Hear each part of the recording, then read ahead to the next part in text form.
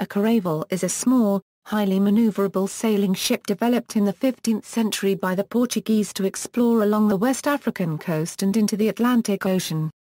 The lateen sails gave her speed and the capacity for sailing to windward. Caravels were used by the Portuguese for the oceanic exploration voyages during the 15th and 16th centuries in the Age of Discovery. History Until the 15th century, Europeans were limited to coastal cabotage navigation using the barge or the balinger, ancient cargo vessels of the Mediterranean Sea of around 50 to 200 tons.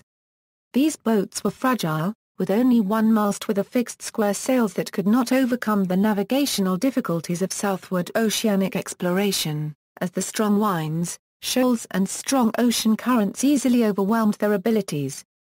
The caravel was developed in about 1451, based on existing fishing boats under the sponsorship of Henry the Navigator of Portugal, and soon became the preferred vessel for Portuguese explorers like Bartolomeu Dias, Vasco da Gama or Ferdinand Magellan.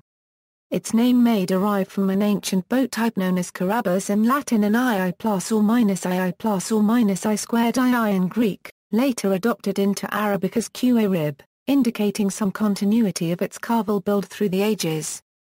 They were agile and easier to navigate, with a tonnage of 50 to 160 tons and 1 to 3 masts, with lateen triangular sails allowing beating. Being smaller and having a shallow keel, the caravel could sail upriver in shallow coastal waters. With the lateen sails attached, it was highly maneuverable and could sail much nearer the wind, while with the square Atlantic-type sails attached, it was very fast. Its economy, speed, agility, and power made it esteemed as the best sailing vessel of its time. The limited capacity for cargo and crew were their main drawbacks, but did not hinder its success. The exploration done with caravels made the spice trade of the Portuguese and the Spanish possible.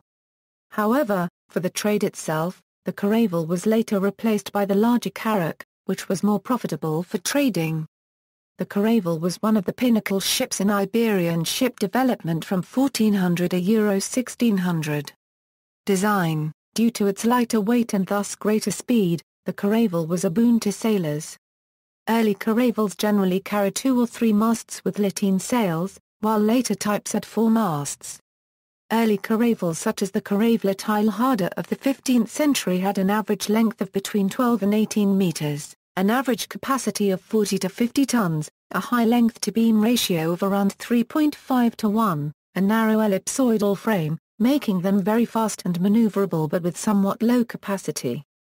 Towards the end of the 15th century, the caravel was occasionally modified by giving it the same rig as a nau with a foresail, square mainsail and lateen mizzen, but not the carrack's high forecastle or much of a stempolis, which would make it unweatherly. In this form it was sometimes known as Caravela Redonda. It was in such ships that Christopher Columbus set out on his expedition in 1492. Santa Maria was a 100-ton nau which served as the flagship and the Pinta and Nia plus or minus A were smaller caravels of around 15 a Euro 20 m with a beam of 6 m and displacing around 60 to 75 tons. In the transition to the 16th century, the Portuguese created a specialized fighting ship also called the Caravela Redonda or square-rigged caravel to act as an escort in Brazil and in the Indies route. It had a foremast with square sails and three other masts with a lateen each, for a total of four masts. The hull was galleon-shaped, and it is considered a forerunner of the fighting galleon. The Portuguese man-o'-war was named after the appearance of the man-of-war, which were in use until the 17th century. See also, Iberian ship development, 1400 a Euro 1600, Notorious, a replica caravel in Australia. References External links 1. The History and Development of Caravels, a thesis, George Robert Schwartz, B.A., University of Cincinnati, Chair of Advisory Committee, Dr. Luis Felipe Vieira de Castro, May 2008, Missa da Marina, Missa da Marina, Facsimiles, Instituto Karma Micrones. Caravela, Durchbruch Kap des Schreckens der. Axel Engstfeld, Germany 2002, 52 m. ZDF.